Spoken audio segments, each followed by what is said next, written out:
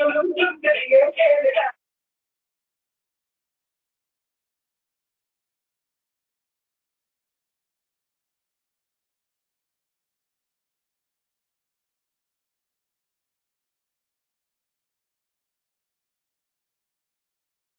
I audible? Good morning, guys.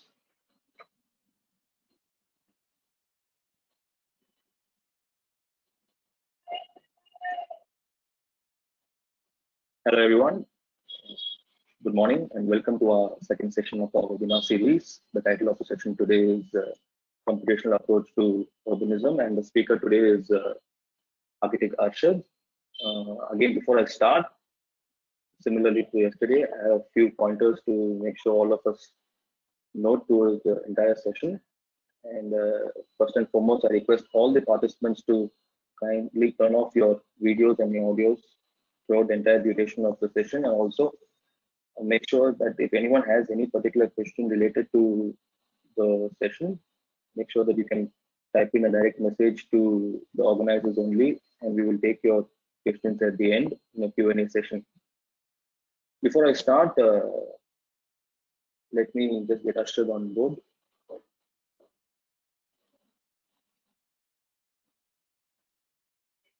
Yeah. Let me introduce the speaker for the day today, Architect Arshad. Syed Arshad, the principal designer of uh, Node Studio, is an experienced architect with a high degree of creativity and technical nuance. He has honed his skills with, uh, while working in reputed design-led offices in the UK and India. Design rigor, technical detailing, and careful execution was demanded at a boutique practice like Mancini Enterprise in Chennai. His stint at a large practice like Squire and Partners in London gave him exposure to international projects. He has been with teams producing concepts and design schemes quickly to international standards and liaising with people across continents. Arshad also has a master's degree in emerging technologies and design with distinction from the AA School of Architecture, London, where he was awarded the AA Foundation Graduate School Prize for Design. He has a particular competence in computational design and a passion for working on complex geometries. On behalf of uh, the Institute and the management, I welcome Arshad to our session. I hand over the session to him. Hi everyone. Am I visible? Actually, is my camera on? And is it audible enough? Yeah, you are. Okay. Welcome and uh, really thanks for thanks to everyone for tuning in. So I'll be talking on computational approach to urbanism. Let me share my screen first. Um, yeah, is the screen visible to everyone?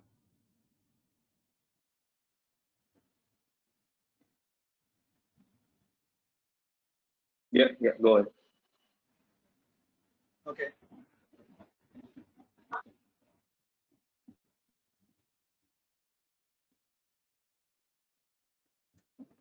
All right, computational approach to urbanism.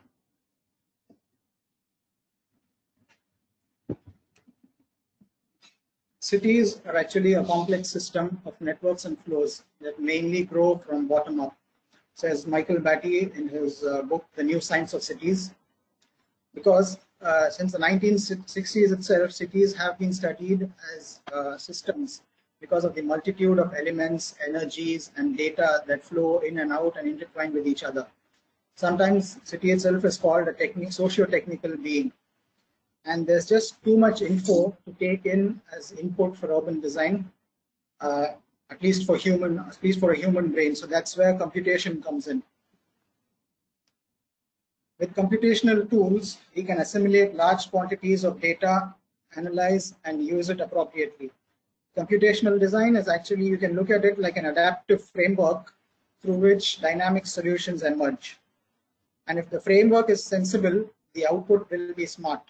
So we really do not need smart cities, at least in the current sense of the word, if our urban areas are sensible uh, at inception itself. Okay, so today's presentation is structured in four parts. So the first three parts will talk about the tools itself. I won't talk about softwares per se, but how these tools can be used in the larger purpose of urban design. And this will help you to create a workflow. So when we get to the last part, I will show you more case studies uh, and talk in detail about my uh, master's thesis as well and about the procedural aspects of generating design. And lastly, if time permits, I'll show you a few of my current uh, projects at Node Studio that are in the urban realm.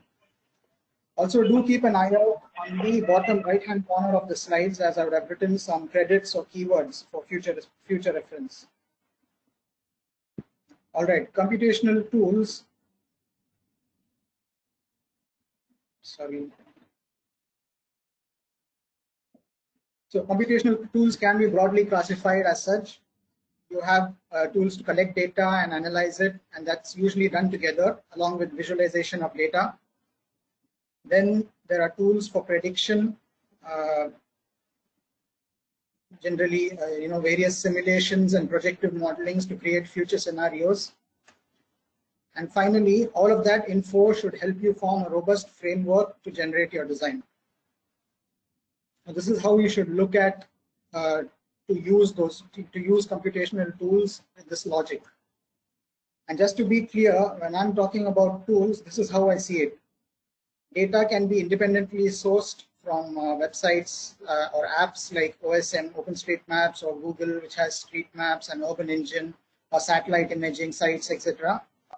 Then there are standalone expert tools uh, like Autodesk CFD, which focuses only on wind analysis, or there might be tools which engineers or experts use, and we might just get information from these, you know, uh, these tools and data sets, and we need to bring it into a CAD platform of our choice, a CAD or a 3D platform where we can do further manipulation and integrate it into our design process.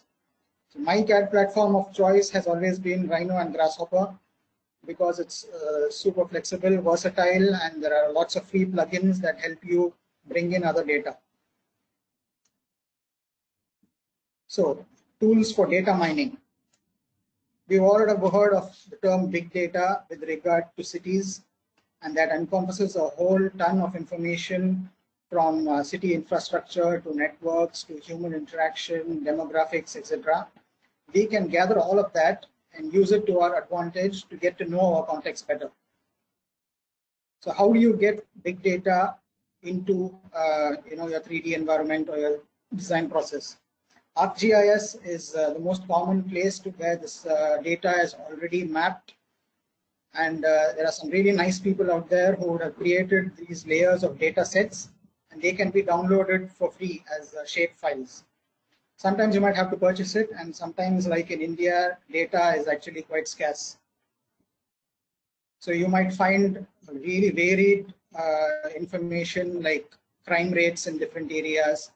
They could have taken it from literally the number of FIRs filed in various police stations or uh, the number of complaints that uh, a particular electricity board gets in various uh, areas of the city. Such varied information can be obtained and overlaid.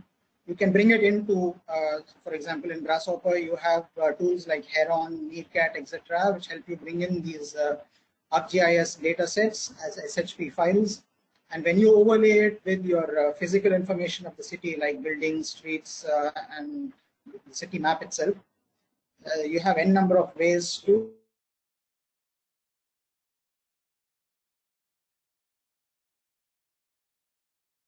to OpenStreetMaps. Tools like Elk Mosquito uh, help you with that within the Grasshopper run. You don't need to sit and uh, uh, trace Google Earth images and CAD.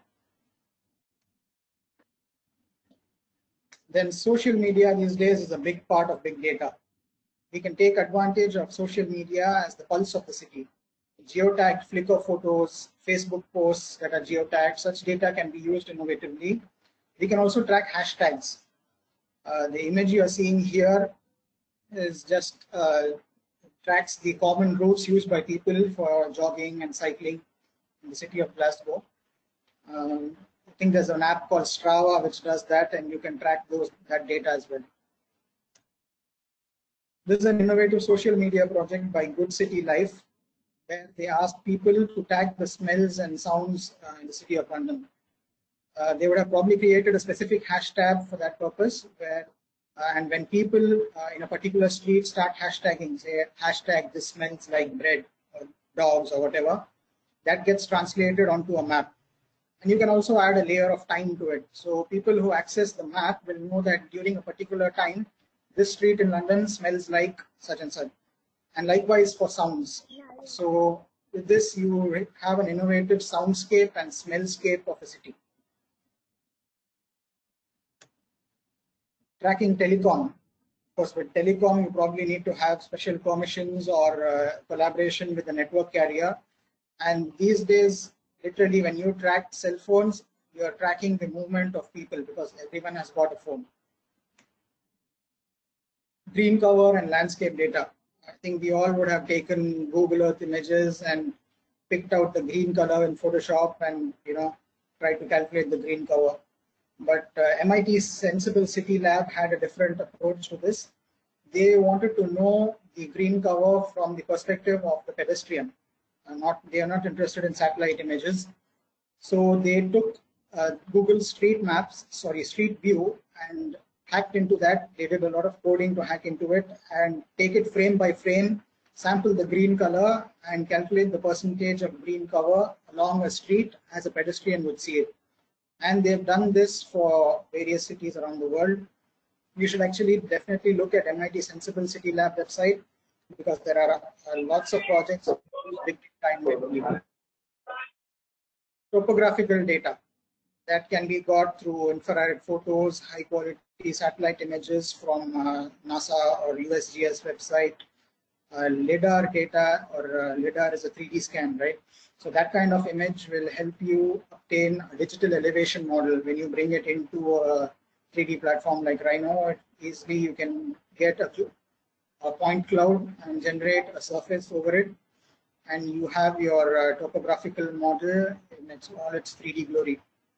So here I've taken uh, some data from Hong Kong and uh, done a 3D model of the topography and overlaid it with the building uh, footprints. So I just wanted to see what kind of buildings have been built on steep slopes. On the right, you can see elevation versus density. I've overlaid the population density map over the elevation map to know what the population might be on steep slopes. So moving on to analysis uh, tools. Again, sticking with uh, topography, there are uh, infinite ways. Once you get your 3D model in, you can uh, you can do various kinds of analysis like slope analysis, um, slope aspect analysis, another uh, important way of analyzing topography, where you where it calculates the, the direction in which the slope is facing in.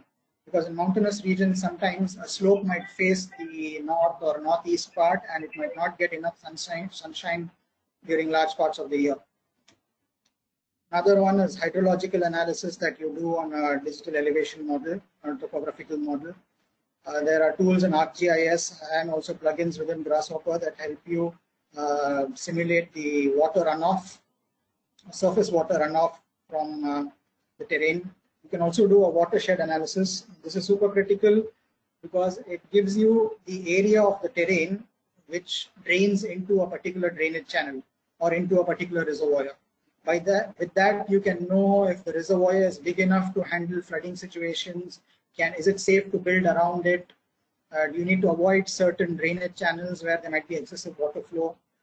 Uh, all this is uh, closely linked to landscape and ecology and this has to be associated with the urban fabric while we design.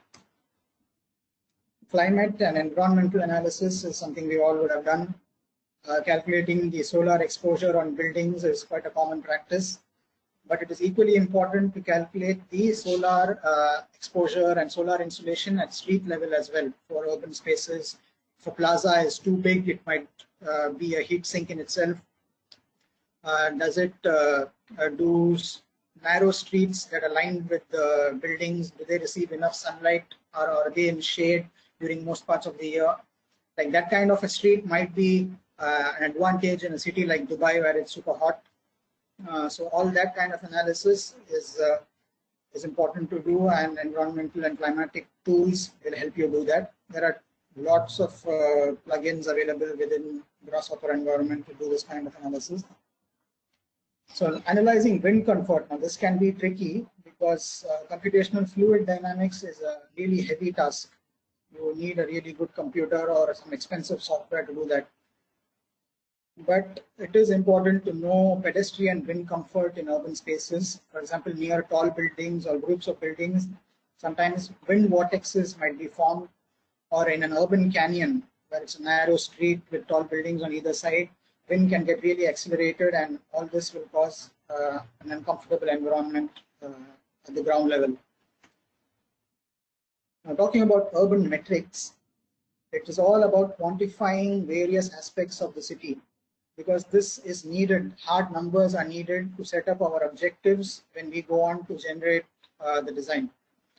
So as far as networks are concerned, space syntax is uh, something called space syntax, which relates the movement of people, the street segments, junctions, and land use. And uh, street space syntax has been in practice since the 1970s when uh, Hillier and Hanson from the Bartlett School in London, they proposed this theory.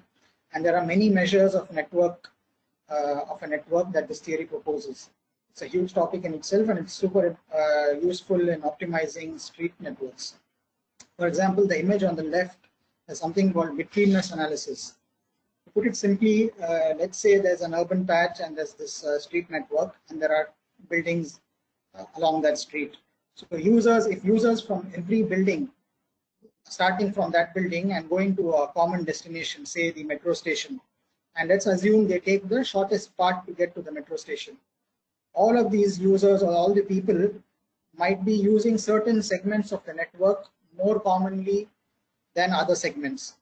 So, so one is the main street or the main uh, road itself might be extensively used, but there might be other segments of the network which are equally useful.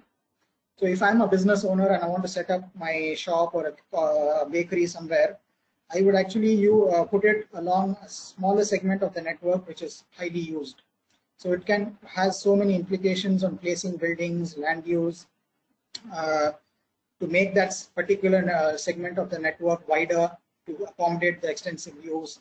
So there are multiple uses of uh, this kind of analysis. The image on the right is network integration, where if you are uh, designing a small part of the city, how integrated is your network when compared to the larger city? And this kind of a network analysis, there are tools which help you do it on the fly. So while you generate the street network, it can calculate these uh, analytical measures and give you the results so that you can uh, you know optimize your street uh, network as you generate it. Another useful uh, network measure is in space syntax is the service range or reach analysis. It basically tells, uh, helps you in placing public transport stops or amenities in places where there are the maximum number of residents around it within a defined walking radius.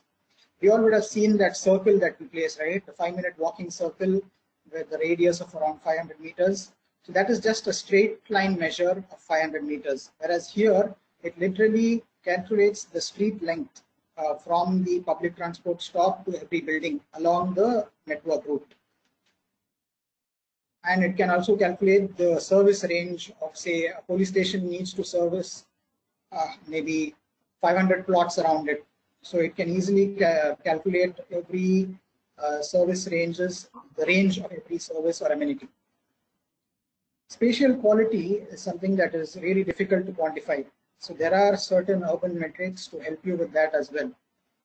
For example sky view factor will calculate the uh, percentage of sky that is visible between the buildings when you look up. And then if you want to uh, quantify the quality of an urban space like an urban plaza or something, there are things like uh, uh, measures like enclosure value or porosity, which will help you do that.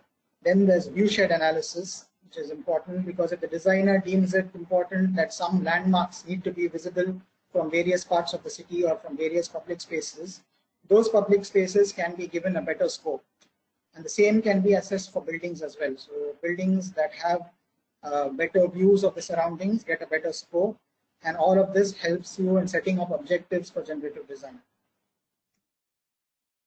Now, moving on to predicting because sometimes it needs coding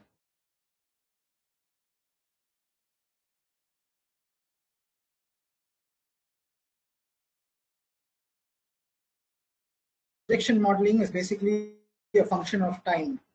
There will either be growth in the system or there might be regression in the system. For example, even today, mathematicians are trying to calculate when the peak COVID cases might occur and when regression might start. So they have to deal with tons of complex data like movement of people, climate, sample scenarios in other countries, etc. It's similar, it's as complex if you want to uh, predict how an urban system might grow. So you have mathematical models like L systems, or if you want to uh, simulate organic growth like uh, using um, movements which mimic fungal um, organisms. Uh, you have ways of doing that as well. Now, mathematical modeling, I know architects, most of us are not really good at maths, myself included but we can always use equations and mathematical techniques developed by experts and scientists.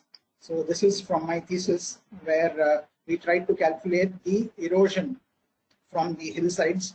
So there's this uh, universal soil loss equation that we uh, studied about and every um, every variable in the equation is obtained from these six maps. And apart from that, we also need to calculate the location or the distance from every point on the topography to the nearest drainage channel.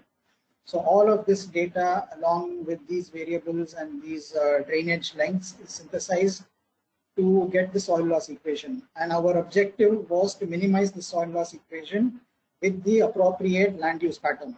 So I'll be talking about this more when I'm presenting my thesis later on. Then the cellular automation which is part, uh, also uh, a part of mathematical simulation. This is a very specific software that uses cellular automation to calculate water flow. Like I initially spoke to you about uh, computational fluid dynamics and how computationally heavy that is. Cellular automation might get, make it slightly easier because it's a low-res method of doing fluid dynamics. So we use this to simulate landslides in our thesis. So it is not technically uh, a landslide simulation, it is more water flow which induces erosion and where that erosion is deposited in the where that erosion is deposited, which might create a landslide. So this is uh, where I was talking about how some low-res softwares that we as architects can use with a laptop rather than having some expensive um, landslide simulation software that geotechnical engineers use and you probably need a supercomputer to do that. So these are low-res uh, simulation tools. Another uh, such tool is agent-based simulation, which is usually used to generate networks. But you can also mimic collective intelligence found in fishes and birds, uh, which is called swarm behavior. And if you use that innovatively, it can be a design driver as well. Pedestrian simulation or crowd simulation is usually done to mimic uh, large groups of people from a start point to various destination points. This can also give some uh, emergent behavior. You can toggle the uh, you can toggle the variation in movement of people, their uh, uh, what do you say, their ability to stall during movement, and all of this Uh, will be useful to analyze if spaces are big enough to accommodate sudden changes. So if there is an evacuation from a building or from, say, a stadium, where do people go? How big might the refuge space needs to be to accommodate such activities? The image on the right is a tower project by Kohn Pedersen Fox in New York. Such simulations are also useful in the real world to negotiate with the builder and the city council. So although the builder might be within his rights to build to maximum ground coverage, if through such simulations, if he is convinced to give up the ground level for urban activity or for a public space, the city council might allow him to build premium FSI or to build taller. Okay, finally, getting to the last part of our uh, of our presentation, generative tools. It is essential to know the process of optimization when you're talking about generative tools multi-objective optimization is where is uh, where there are conflicting objectives and the genetic algorithm tries to find the most balanced solution that uh, performs well in all objectives. Genetic algorithms are usually based on Darwinian uh, evolutionary principles. So you will find words like uh, phenotypes, gene pool, um, mutation, breeding. So and you find these genetic algorithms within Grasshopper as well. There are uh, quite a few tools like Octopus, Wallacei, or Galapagos, which will help you do that. And you should, when I'm talking about the most balanced solution, the most fittest phenotype, it is really a myth because no one solution can score 100 out of 100 in all objectives. That's really uh, might be possible, but it's really rare, and you really do not need to look for that fittest solution. Rather, Designers' responsibility is to pick and choose few of the top performing solutions and analyze it further. So there might be solutions which perform really well in one objective and perform badly in one or perform average in the others. So if we pick and choose five, top five or top 10, now we can then analyze it for further uh, objectives and uh, the designer can use his intuition to pick and choose. It is also the designer's responsibility to define these quantifiable objectives because I've spoken quite uh, intensively about the urban metrics and how we need to have quantifiable or numbers to be able to set up our objectives. And that is what is need to be done and you know from solar gain, views, the variety in urban form, courtyard sizes, project costs, all of these and you can have a multitude of uh, opposing objectives and the genetic algorithm will help you in find the top performing uh, solutions.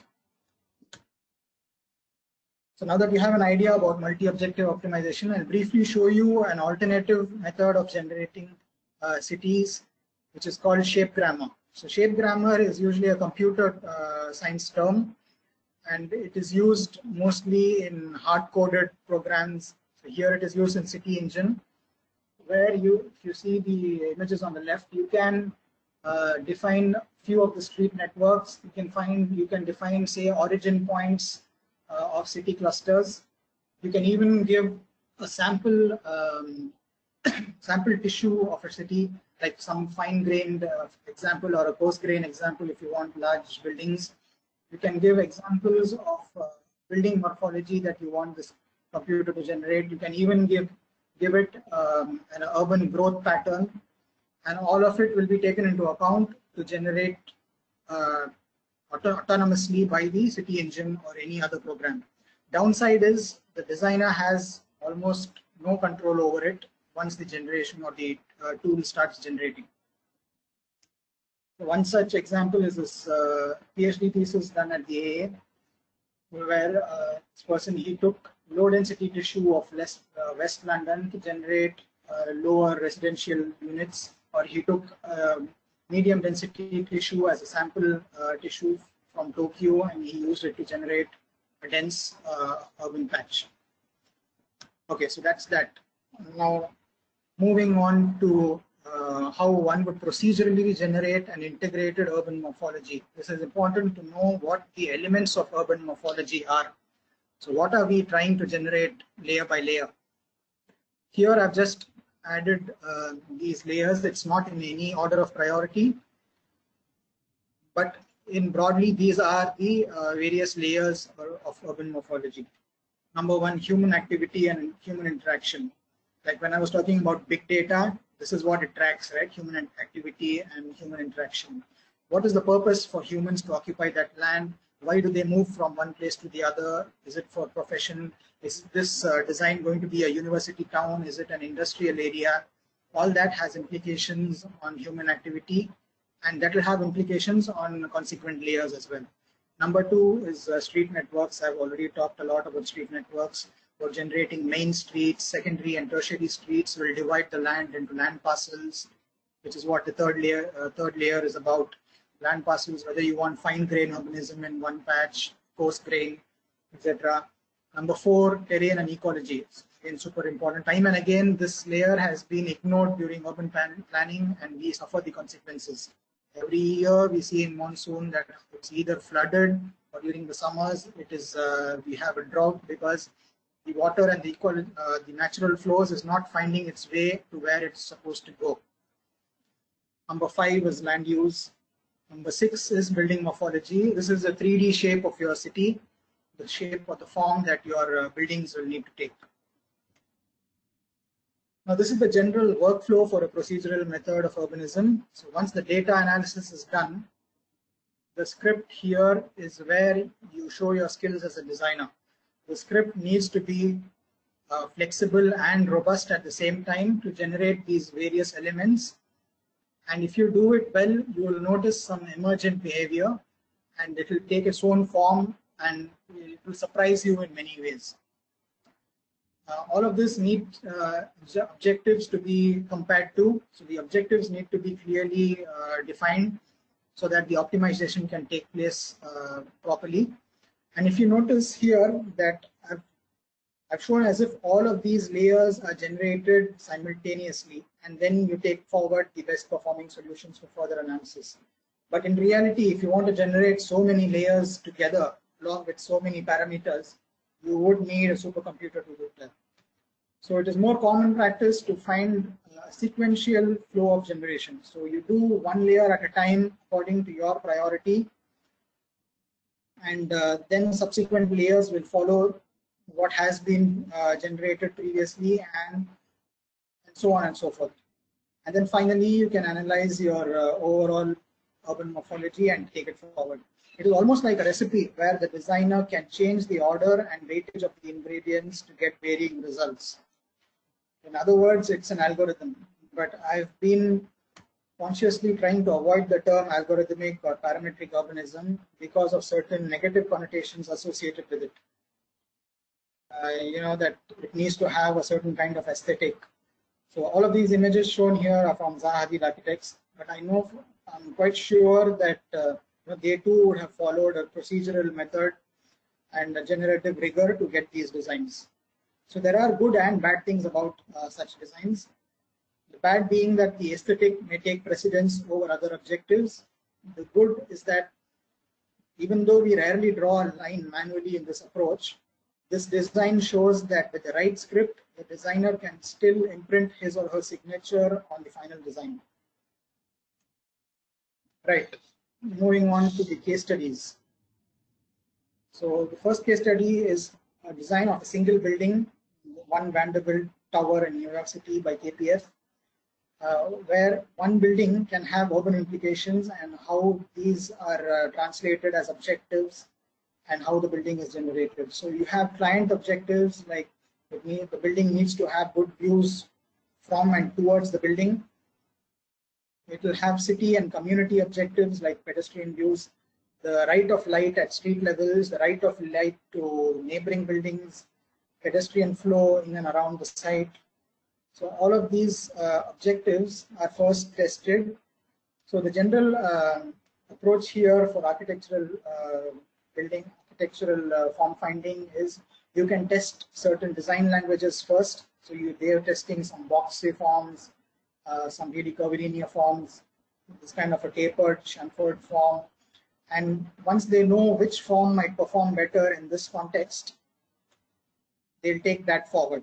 So it's clearly seen uh, from this dashboard that this particular tapered form is performing better than the others and they are taking it forward. They'll do many more iterations of this tapered form to get the exact angle of taper, what the height of the building should be, etc., etc.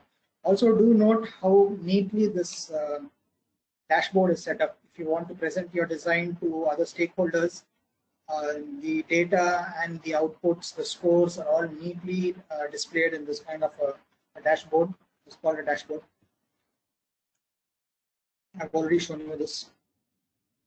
And once you get that tapered form, they have this envelope within which they're exploring various variations of tapering and uh, doing analyzing it against spatial quality uh, metrics like sky view factor, etc., etc. So, so I wanted to show you one example, which is about procedural non-optimized method of generation, generating design. So although the script uh, is again an associative script. There are associations between the layers. You change one, that has implications on the others. There is no uh, optimization stage, stage as such. Just wanted to play this video. It's quite self-explanatory.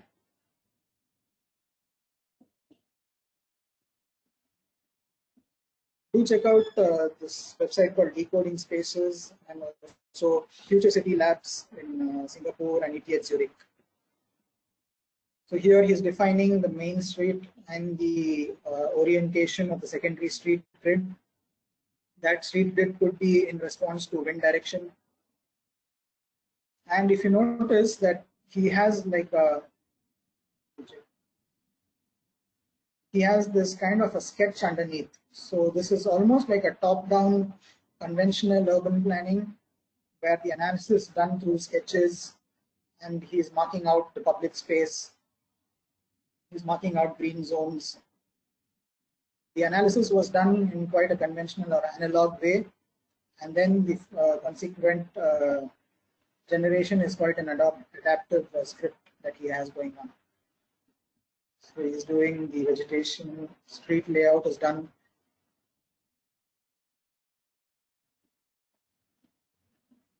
He is now forming a density gradient for the land use pattern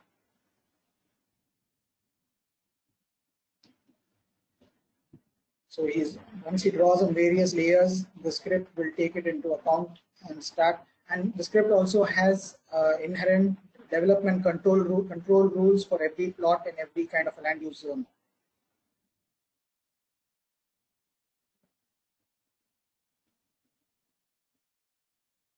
Once the land use is done, the buildings are generated according to those uh, development control rules like setbacks and uh, building maximum building heights, what the FSI needs to be for every land use, etc. So so on and so forth. So you can see that he is manually now adjusting every layer to be able to generate various designs on the fly and to be able to assess the objectives on the fly. But there is no optimization as such. So that is one example. Case study number three is uh, the generation of an urban block in London, again done by KPF, where they studied existing uh, housing blocks uh, in London. Housing blocks in London could vary between 100 meters or so, 100 by 100 meters. And they took these blocks and their intention was to densify it further, to create a high density version of an existing block. So the cool thing about the evolutionary process evolutionary processes is that generative design, once you have a sample and you set up the objectives to come close to that uh, sample building or sample urban patch, then you get variations that have similar traits to the original one. So although the new London block that they are proposing might be quite different to look at, might be taller, it will still have the same uh, open space hierarchy, it will still have those quality urban space qualities that you sampled from, that they sampled from the original block. So they've now um, arranged uh, multi, multiple blocks side by side and try to generate a larger urban patch.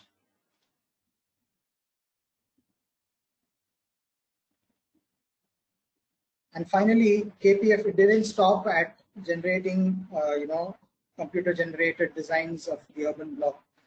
Here, they've actually studied the top-performing solutions of the uh, generations and here, the, uh, their urban designers are now taking control from the computational designers. We also, as designers, need to do this, that we can't stop at what the computer gives us. In computational design, you need to go further. You need to analyze what the top solutions are. And here they are forming rules that they then proposed to the uh, London Council uh, for this kind of a new uh, version of the London housing block, which is more dense. Okay, here is my thesis project that was done during my master's. Three of us worked on it. So this thesis was on uh, urban intense urbanization towards hillsides and how that depletes natural resources and how it might uh, trigger negative uh, trigger landscapes or landslides or other hazards that might happen in uh, critical or sensitive terrains. So our urban um, test site was in Shenzhen in China. And our intention was to integrate various ecosystems of the existing hillside with the dense urban patch that we are proposing. So from the outset, ours was uh, ecological, ecologically or landscape prioritized uh, approach to urbanism. So our site was slightly outside the city in this mountainous region um, where there used to be urban farming or terraced farming happening decades ago, but now it's all been urbanized and the urbanization is slowly climbing up the mountain. So there might be uh, danger of uh, triggering landslides and other haz hazards in this uh, sensitive terrain. So the research question was how to synchronically develop a city tissue focusing on the relationships between hill sub-ecosystems and establishing a fertile environment suitable for the coexistence of urban activity with natural phenomena. This was our final output, what we set out to do, and let's see how we got there. This I've already shown you before, how we generated the land use map based on the uh, soil loss equation. We took various risk analysis maps beforehand the structural uh, stability of the soil, the factor of safety to build what, what, can be built in which part of the mountain, the elevation of the soil, uh, the slope aspect analysis, slope angle, erosion and deposition impact that came from the simulations, soil depth and soil type analysis. So all of these maps have been synthesized along with the mathematical modeling to generate the land use map. And our objective was to, of course, like I said, reduce erosion and reduce the impact or uh, reduce the threat of landslides, while at the same time increasing the density of buildable area. So these are conflicting objectives, right? You want to build more, at the same time you want to reduce the risk of landslides. And at the same time you want to also uh, reintroduce urban farming as a method of stabilizing slopes. So terrace farming or rice farming is uh, has been a slope stabilization measure for many decades, many hundreds of years actually. And here you can see the layers or the various elements of our urban morphology in our uh, prioritized uh, manner. So this is sequentially how we went about generating each uh, layer. And like I said before, ours was an ecologically uh, prioritized urbanism. So our hydrological network, farming and vegetation took precedence over the urban strategy. When you're talking about hydrological network, we know that that there are certain um, natural drainage channels coming down from the mountain and they form the main reservoirs in the valley. So when we did the uh, optimization of the hydrology and the network of, we wanted to create a network of smaller urban uh, reservoirs along the mountain, which would store water for a short amount of time to reduce the rate of flow down to the reservoirs. So that way you can avoid flooding during peak rainfall season. So this was the final uh, network of reservoirs and uh, wetland areas around those reservoirs to filter the water, store water, and reduce the rate of flow. Then we have uh, farming ideas because like this um, basically being an urban farming patch, this is what we talked about. I talked about when I said human interaction being a layer or an element of urban morphology. So the purpose of humans to settle here would be to have to settle in this dense uh, urban patch and do farming at the same time. Then there's vegetative uh, strategy.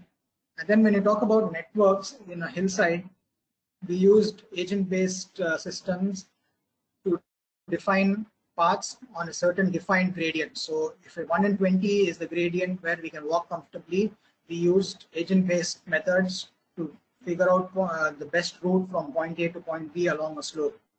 And then we had uh, 1 in 8 or 1 in 15 for other streets. So here from every cluster, we, generate, we had this urban agent-based analysis to simulate uh, networks between them uh, as a walkable network. And then we had vehicular and uh, other main networks connecting the uh, urban patches as well. That was our network strategy. And the urban strategy, I just play this video, it's quite self-explanatory. Um, because we were working on a five square kilometer patch, it's quite a huge area to generate uh, buildings and urban morphology. So we kind of zoomed in to a smaller patch.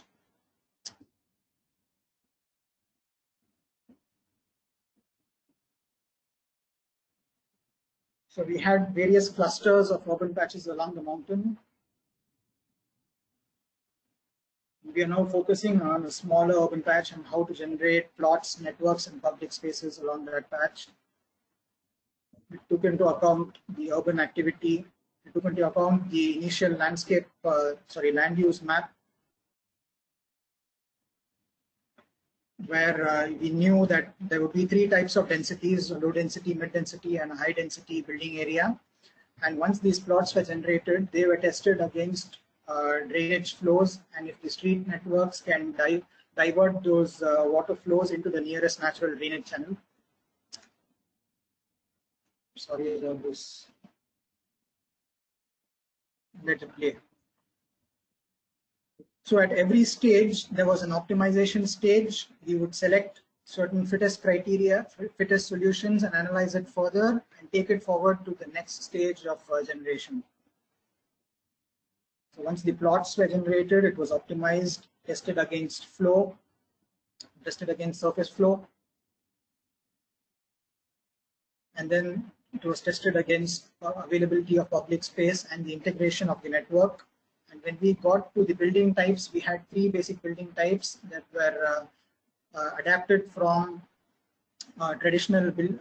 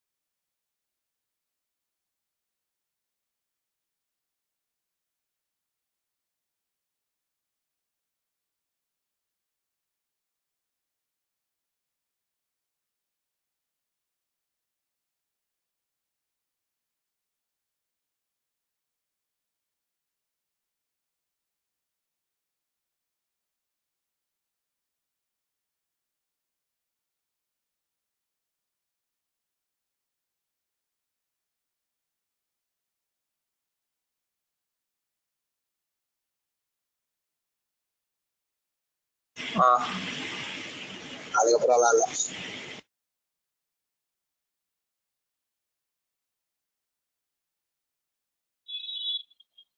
Uh, we just have a small technical glitch here. Give us a couple of minutes to just sort it out.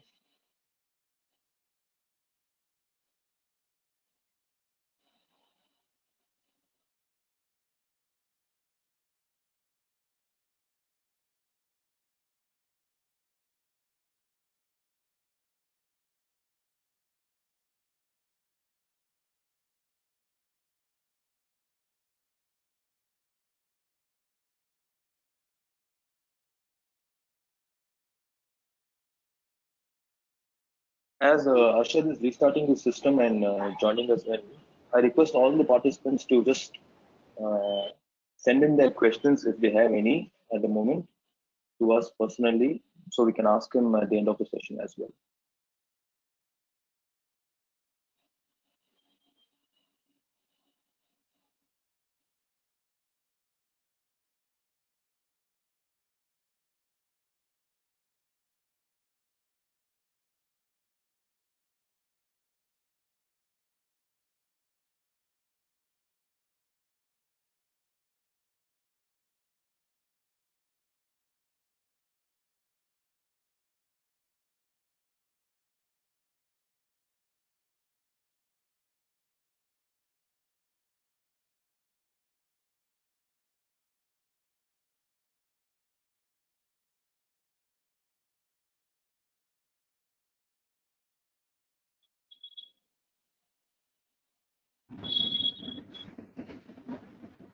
I think we need another couple of minutes. For, Sorry, I'm really sorry about this, but yeah, yeah, yeah, my net connection does this time and again.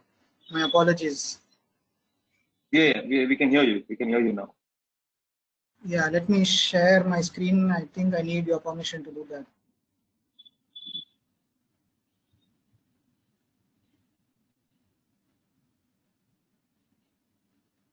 Nitesh, I'm unable to share the screen. It, it, it seems to say you are offline. Can you disconnect and get back again? Okay. Connect from this and come back again.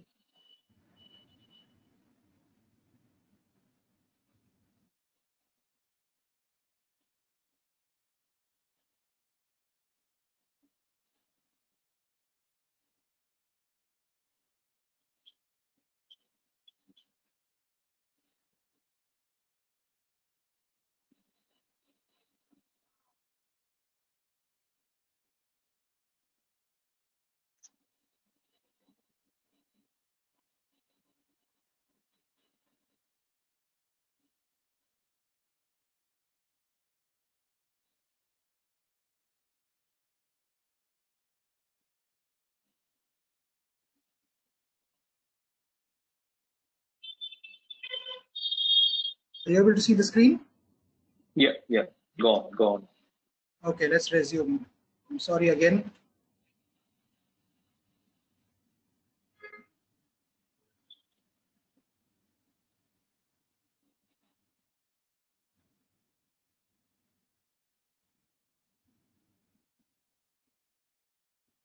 So those various uh, types of building forms were again uh, object, sorry, optimized to various objectives. And it's important to note that those building forms came from certain sampled uh, traditional building forms. So once generated or populated across the patch, you have something of a, a sampled urbanism uh, that is rooted in context, but it's generated uh, individually and integrated with the landscape. So you have various layers now already generated as forests, terraced farming networks, operational public spaces, and the built fabric.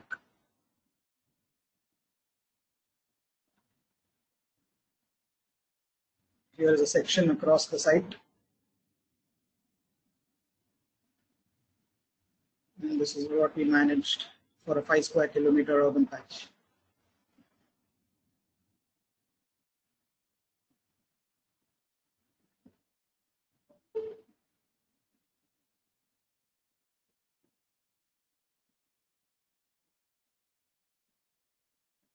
So once that urban patch was generated, we analyzed it further with space syntax methods uh, to know where to place certain amenities, uh, certain uh, public transport stops, and how to make it more uh, holistic urban design. And that was the last of my academic projects that I did back in 2017. Credit should go to to, to my two teammates, Diego Valdivia and uh, Shalu as well. Finally, I think we have time for some more uh, projects, Nitesh. Yeah, I think you can go on go on for the 10 minutes. So let me show you some of my ongoing work at Node Studio, which is at an urban realm. So I've uh, been drafted in as an urban designer, as an architectural consultant slash urban designer for uh, larger firms like L&T, who, will, who have taken up the role as the lead consultant in projects such as this one in Pune, where there's a BRTS station proposed at an elevated level. It's bad enough that uh, if a BRTS is proposed at the ground level, we might not have enough space because of our pathetic uh, pavement and public space pedestrian conditions at the ground level. But how does one reach the elevated level in order to access it? Will there be enough uh, space to provide vertical transportation to get there? Uh, there needs to be a refuge space before getting to the middle of the elevated highway and access the BRTS. So it's always uh, thought of as an elevated street concourse level where you take a lift or a, a staircase to an elevated street level and my agenda has always been to integrate quality public space at various scales, even in uh, public projects or public infrastructure projects. So here is a view of that concourse level where um, the public space has been um, kind of a unique um, approach to defining a public space a, within the uh, urban infrastructure project even by segregating the circulation area from, say, the kiosks and the commercial areas, you can have um, areas where people can take refuge before taking the lift or the staircase to the uh, BRTS station. The view of the BRTS station. And then this is another project in uh, Kerala. This is actually a cable stayed bridge in uh, northern Kerala in Malappuram district. It spans 300 meters across um, an estuary. Excuse me. Uh, and I was brought in to work on the form of the bridge itself and the urban area, associated urban areas like the parks on either side. Uh, and this particular bridge had to be special. Basically, it, this came from higher up the ministry. That the ministers and the speaker of the Kerala Legislative Assembly wanted this to be a signature bridge that will have certain urban quality to it, certain, how they put it was certain tourism potential. For me, tourism potential is translated as quality urban space for the locals and uh, visitors alike.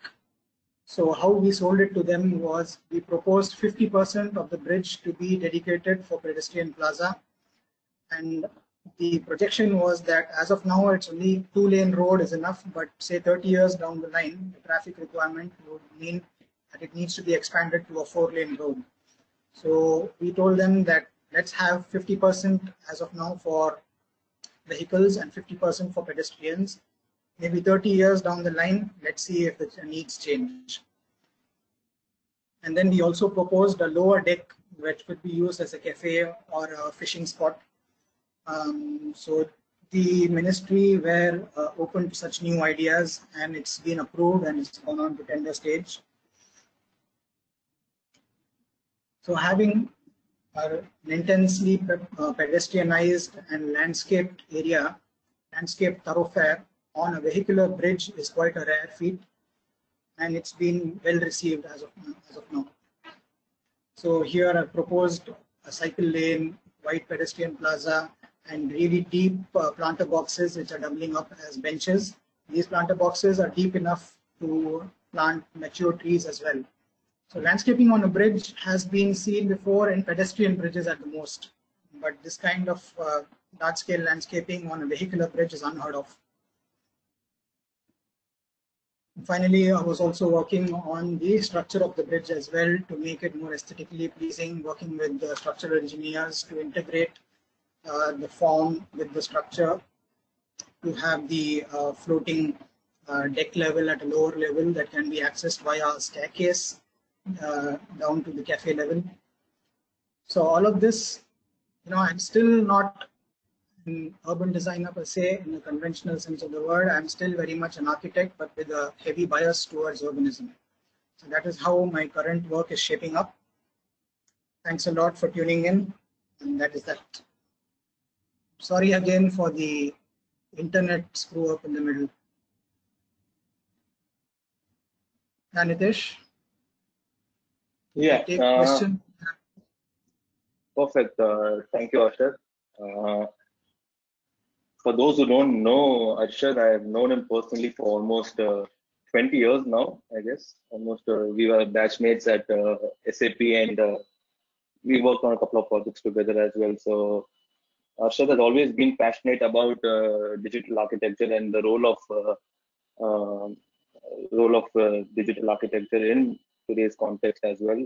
So he's been passionate about it for the last, I would say, we've seen him do this from uh, his thesis project, I guess, at SAP was uh, an architectural project. Uh, uh, am I right, Arshad? Was it a, building for automa automa autom automation? Yeah, automobiles, yeah, but it was a process driven approach. Yeah, Yeah, the site was, uh, we remember the site was also the uh, TIDEL Park Phase 2 site that's, uh, Yeah. that's built into a into an IT park now.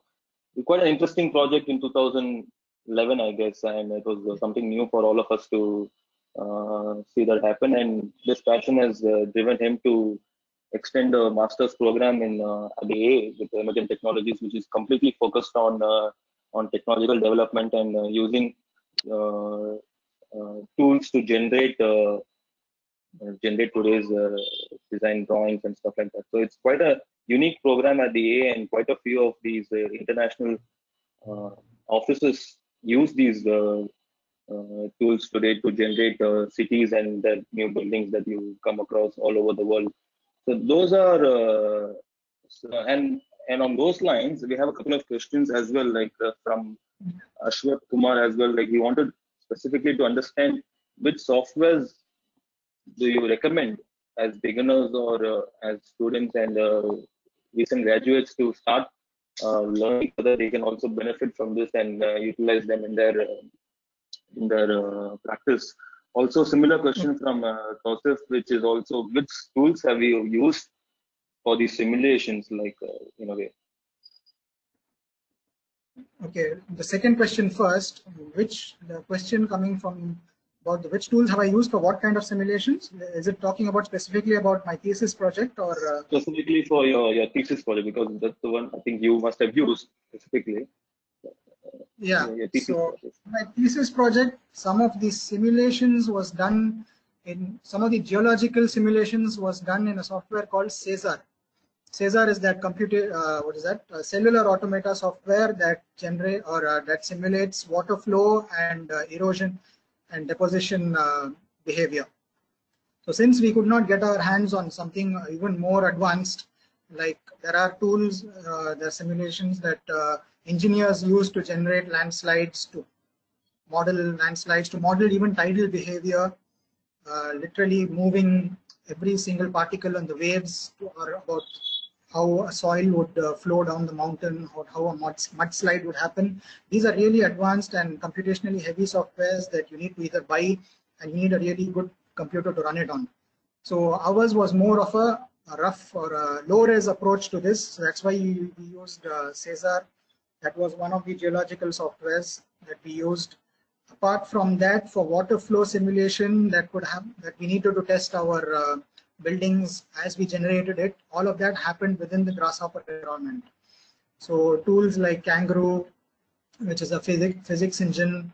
Um, there's another tool called um, I think it's called Sonic, which can uh, predict or which can be used to mimic water flow, surface water flow. So those were some of the tools. And apart from that, large part of our land uh, land use map was generated with mathematical modeling, right? I told you about how we use that equation to generate the uh, land use map. So those were tools specific to my thesis. And then to answer the first question about uh, what tools can students start with, like I said, you need to have a CAD platform of your liking. So Rhino Grasshopper was my preferred CAD platform where you can import uh, information and geometry from other softwares as well. So I think Grasshopper is a very flexible and a versatile tool for generative design. So once you start learning that, you might uh, start to learn even about you know other specific plugins within Grasshopper, which you might find useful as and as and when you need it. You might learn about uh, uh, structural optimization using Karamba or uh, physics uh, modeling using Kangaroo plugin and some of these space syntax. If you are working on an urban project, you will want to import, you will want to install that plugin so start with Rhino Grasshopper and slowly you'll build your uh, knowledge on other plugins as well. Okay. Uh, following on to the similar question as well, like uh, there's a question from Michael Lee, who's a professor at uh, College. Like how yeah. different are these platforms, mm. Rhino CAD? Mm. How different are these from uh, the ArcGIS platform, like in terms of what are the major differences that you find if you have used on both those platforms? So ArcGIS uh, is of course it's an amazing platform to map information onto like at a 2D level. Also at a 3D level, I think you can do it. Um, but that is basically a mapping software. You can't really generate design. It's not a design software, right? You need to then kind of integrate that information with something you're doing uh, in your 3D modeling environment. So that's where that link happens in that very first slide, first few slides that I showed you, where you have your data sets within ArcGIS and uh, other uh, softwares. And then you, you need to bring that in, import that into a 3D software to be able to manipulate it and integrate it into your design uh, process. So, but yeah, definitely ArcGIS is something, if you're into urban design primarily or urban planning, ArcGIS is an amazing um, source of information. Okay. Uh, following on, uh, mm. the question continues as can we work with landscape metrics on uh, CAD or Rhino platform as well? Sorry, I didn't get you. Can can you work on uh, can you work with landscape metrics mm-hmm. Uh, on CAD or Rhino platforms? What is meant by landscape metrics? Like fully understanding that. Mm. I guess uh, I think I think it's similar to your urban metrics that you have. Uh, yeah. It must be something so on similar lines. Yeah, so that is something that you need to research on. Like, are there metrics for uh, landscape specifically? Uh, are there quantifiable uh, aspects of landscape? I'm not sure. Um, but yeah, if anything can be converted into numbers that can be manipulated as data and used in various ways uh, in, in design. Okay, I think uh, I think you answered those questions. But then one of my questions would be like yeah. in terms of the time frame that we would uh, mm-hmm. require. Like maybe a question all the students will also want to understand like a time frame on in layman term. Mm-hmm. How long do you think would it take for a project of this scale or a small scale of on an urban scale project, how long do you feel it will take for a student to kind of time frame do you? That's a um, tricky one to answer because uh, depending on the depth of analysis required, sometimes at academic level you might end up doing a lot more analysis than required because of, you have like six months to do your thesis or whatever. But at the same time, if you're working at an office, uh, you might not have that much time to analyze one single project and work on it in so much detail. Um, mm. so it kind of varies. You might have to do quick and dirty work in offices sometimes. Um, and tools like Grasshopper, Rhino, all help in doing that. Uh, because it is kind of a low-res method, uh, you might do quick analysis, might do a quick generation, like uh, probably that uh, tower project by KPF was done quite quickly. I don't think you would have yeah. spent uh, more than two weeks on it, at least the initial concept part. Uh, so you can develop hundreds of options, scroll through them, select, analyze it, and optimize it further within a say a two-week period for a small uh, an architectural project or a small-scale urban project. the same one, if you are taking it for a much larger scale, you want to do a yeah. lot more uh, environmental analysis, ecological analysis. You might have to bring in experts from other fields as well uh, to do that. Some geologists, complexity scientists to you know confirm your work and all that. It's a much longer process. Yeah. Yeah. So I think you put it very well during the presentation. The difference between analog and digital, like uh, the mm -hmm. way we treat the conservative way of design. Maybe you can call it analog, and uh, mm -hmm. design which is helping you in generating and making your work much more uh, uh, much more uh, confirmative i would say of the realities uh, make it maybe maybe you call it digital uh, so those skills mm-hmm. possibly are are extremely important skills that we need to understand during this time as well. Like we we live in a digital age where things keep changing quite drastically. The parameters keep changing. So if you keep updating yourself I guess it's an extremely important role that uh, digital architecture and computational design plays in today's world, at least because of the way the parameters are changing so drastically. It's so difficult for us to keep track of it at a manual or a conservative mm-hmm. approach to design as such. So I think uh, the way you put it across uh, is going to be extremely useful for all the all the participants as well, and maybe the students of the fourth year, final year level who are approaching their thesis projects uh, and you start talking about uh, quite a few students who start talking about parametric design in uh, in architecture and they come up with the same old concepts so really understanding the the way parametric design helps you in determining uh, uh, a better uh, city or a better building is extremely important to understand as well. I think the way you put this, I'm sure the participants would have made it uh, it must have been very useful for them. We have another question. Yeah, tell me the question. Yeah, so that was my observation. The, the, other question now that we have is, do you uh, how how do you choose the mathematical expression for generating the structure uh, by Ashwath again? Is there any specific way of doing it? Okay, um, structure is quite a broad term, like are you talking about buildings? For example, in the way we did our thesis, we had to uh, touch upon structure in terms of soil, soil stability. We needed to find out the uh, factor of safety of that particular soil type on that particular slope angle. So if uh, we needed to know if we load that that uh, particular slope with a building or with a multi-story building, will it cause a landslide? So we study, we did study structure in terms of soil there and how that soil type uh, will, has to be protected at that particular slope angle. So that was the kind of uh, structural analysis we did for soil um, based, uh, for our thesis at least. If you're talking about uh, structural analysis of uh, architectural structures, there are tools like Karamba, which will uh, analyze the uh, stiffness, which will analyze the tension and compression in, in various elements, discrete elements. So that is something to look at if you are interested in structural optimization. Right. Okay. Okay. I guess uh, I guess the questions go on on similar line of in terms of uh, what softwares you use and how do you start off from there. I think you've already answered those uh, the questions. I think uh, uh, I feel I feel I think we're getting similar yeah, questions now. The thing was, I hope the students understand that the tools can be categorized. That's why I structured the presentation like that, like you know, tools to analyze, to collect data, to predict, and, and to generate and all that.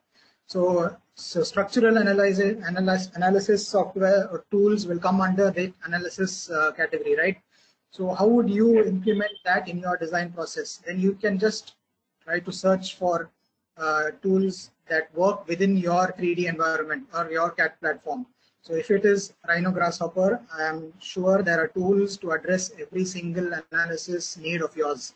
All you need to go is go to grasshopper3d.com and just search for it. There are forums which talk about um, every single tool in detail. You can ask help about uh, the creators of that tool. The tool about I, I spoke to you about optimization, right? Like there's Galapagos and there's uh, uh, and Octopus, which you which are used for uh, multi-objective optimization. Those are genetic algorithms. One of the tools was actually developed by my tutor at the AA. He was a he was a PhD student at the time, and Wallacei is currently being developed by him. So he he actually takes uh, on questions. You can email him. Uh, you can ask uh, him questions, and he will personally clear your doubts. So that is the kind of one-on-one interaction that you can have with creators of tools because it is an open source software, Grasshopper and all the other plugins. Uh, the creators are super in, uh, interactive in with you in these forums and they will help you out in any way. So you start with one and when you get to those tools, you can ask questions on those forums and you will learn quite easily. Yeah. I guess the passion drives you in terms of uh, if you have the passion for it and if you really have the uh, if you have a passion for it, you surely would get into depth of it as well. So we have another question Yeah. from Hindu, which is again, uh, are there any softwares to analyze the historical context of a certain area? Like, is there anything specific to? Because you talked about morphology and uh, we talked about how evolution, historical patterns also come up Mhm. play important role. And how big a role does it play in the entire design process? Like, do you understand the blessings of the of a neighborhood uh, and then come up with those parameters? Or uh, to add on to this question, how what's the role of uh, human mind in designing those and defining those parameters as well? Like the computer plays its role, but the human Yeah. mind plays the role of defining the parameters of history, evolution, patterns. So how do you bridge that gap and how do you bring them together in a way? Okay, I'll ask the second, answer the second question first. The human mind, that's where I said uh, when you define the script, when you're writing the script or you know doing it in Grasshopper, for those who know, Grasshopper is a visual scripting platform, right? So you don't need to write or code it in C Sharp or Python language or something. You just need to uh, do it visually, script it visually. But therein lies the ingenuity of the designer. You the way you script it, it can take in n number of parameters and still work well, or you can have a very complicated script that might not give you proper results. So you need to practice, learn how to do that properly, and eventually you will do a good job in structuring your script properly. Uh, it's called a grasshopper definition, right? You need to define that script properly. Yes. Uh, and if it's done well, your results will be good. You can analyze it, you can optimize it however you want.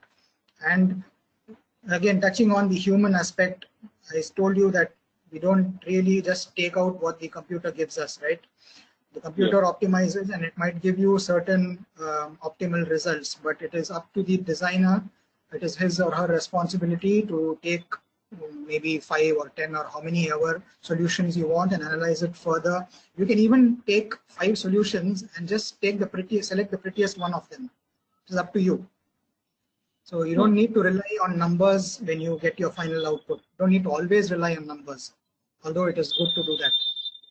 Okay, answering the first question, it was about historical context, right? Like, okay, that's a really good question. So even in our thesis, um, we sampled a historical village in China, traditional farming village in China, and we wanted to get certain um, sampling data from that. Um, so there are ways to do historical sampling in a computational environment. You of course need to model that village. I didn't show you that because that would have taken a long time to uh, do it, and I wanted to do it within an, within one hour. Um, so there are ways to do that. I can maybe uh, share that link um, with you. Some we'll share the link of my uh, thesis document later on. Um, so once you do that sampling, your further your uh, generative process is now focused on achieving those objectives of that sampled village. So my uh, low density housing uh, in that thesis project uh, was based on that two courtyard principle of a traditional Japanese house, but adapted to a slope context. So one courtyard, when it heats up, the other smaller courtyard at the back will be still in cool, uh, will be still cooled at the surface level because of closely spaced walls, and that will induce cross ventilation between the hot and the cold courtyards. all these principles were studied from a traditional village and adapted to our context. Similarly, the uh, hierarchy of public spaces in a village, is there um, you know, a large open space that people gather in? Are there smaller uh, public spaces at cluster level between various houses? Uh, do you want to create that kind of hierarchical public space and uh, environment in your design, uh, in your urban design? So you can study it and implement it uh, in your design as well. So that would be my way of translating for, for further generation. Is that clear? I think I think it makes sense. I think it uh, makes a lot of sense in terms of uh, it gives us that kind of opportunity and flexibility in choosing our parameters as well, right? Like in a way, we have that uh, specific to our project, specific to our context, we could uh, input the number of parameters that we want to uh, uh, want to use. Okay, so there's another interesting question that we have is like, what would you, what would be your take on the influence of pandemics, influence of pandemics and one second, I just completed. Pandemic breakouts like the COVID-19 situation and urban design in the near future. Will we use these as well? Like you said, you did mention that uh, researchers today are giving out uh, uh, progressions in terms of uh, data. So will we need to input that as well like, uh, in a future design process? Any, kind of data can be implemented and can be adapted and manipulated to help you in design. Pandemics itself, I don't, I don't know how directly it will be useful, or how directly it can be implemented, something to think about definitely. Uh, but what I talk, uh, spoke about, uh, about how scientists are uh, complexity scientists are doing mathematical modeling to figure out uh, the regression and how this pandemic might grow or uh, when it will reach the peak. That's a different thing. Uh, it's not directly related to design itself. Um, definitely something to think about. Um, yeah. If there is a data, I mean, these um, apps and all are already, there are mapping which are the, uh, what do you say, containment zone where people tracing apps have already used even in India and South Korea it was used much earlier earlier on. Uh, I don't know that is part of big data. How do you use that uh, to influence design? Something to think about. I'm not really sure. Yeah, I think there's an observation come come question from Tausif again, which says, can computational approach help us better plan for opening up of our cities in present context of COVID-19 and stuff like that? do you see any examples where it can be applied as such? Uh, I'm sure there are ways of, uh, as you said, uh, inputting the data already available and start mapping it out so that we get a better idea of opening up of our cities as well. When you say opening up, you mean opening up from a lockdown, you mean something like that? Yeah, yeah, yeah something like that in layman's terms, yeah. Yeah, I think that is, yeah, that is one way of using um, the, the, the data that has been mapped onto the data about containment zones, uh, use um, infected people, the tracing of the infected people, how do you uh, use that data to open up parts of the city which would be safe. That's something, yeah, that can be used to map which parts of the cities are safe to open up initially and in a sequential manner you can uh, work out how to open up the rest of the city as well. Yeah, I guess uh, I guess we're coming to the end of the session in terms of uh, the questions and answers as well. Going on and on and on. If the, the, the topic is such an interesting uh, topic that people have hundreds of questions to ask as well. Anyone personally wants to ask any question to Arshad, I think is surely going to be helpful in terms of uh, uh, you can approach him if you want to specifically understand about how computational design works and how can you apply those principles in your practice or, or in your research as well. So I'm sure he'll be available for it. Before I get to the end of the session, I would like to inform all the participants that it's been quite an interesting session for us as well this week in terms of understanding from yesterday's session of uh, understanding green buildings and sustainability and how do you, what's the need for uh, using uh, green principles in today's uh, uh, architectural life as well, as well the, the benefits that you achieve from that both in terms of uh, the government benefits and as well environmental benefits as well. So quite a few learning experiences for us for the last couple of days. And uh, there is going to be a feedback feedback uh, form that's going to be sent to all of your emails. I hope all of you can fill those uh, feedback forms and send it back. Uh, and once you do that, uh, by end of the day tomorrow, I am sure all of you should receive your your certificates as well, e-certificates as well.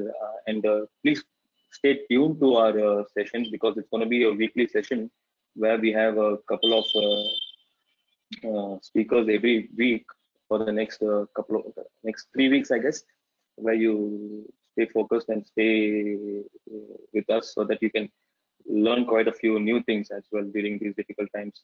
Uh, I would like to thank Arshad to take his time and uh, effort in presenting to all of us. And I'm sure all of you would have had a great learning experience.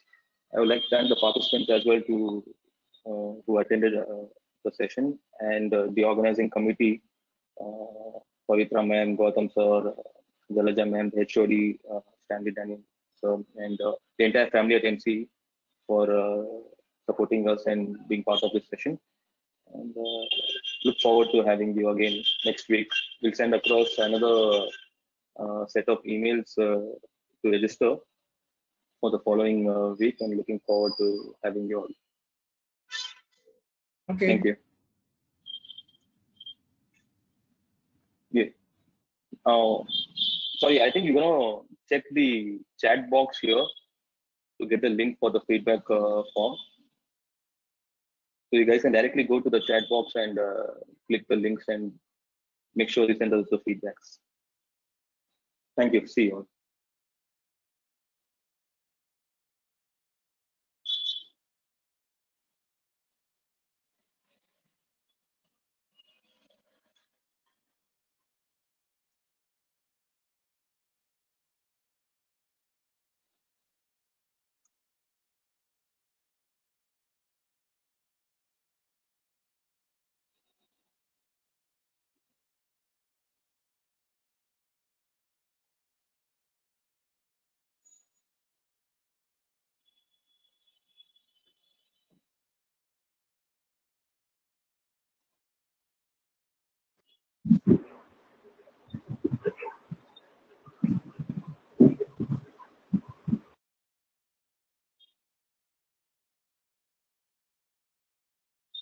So those who are still here, you need to make sure that you have to follow our Facebook page as well and our YouTube uh, channel.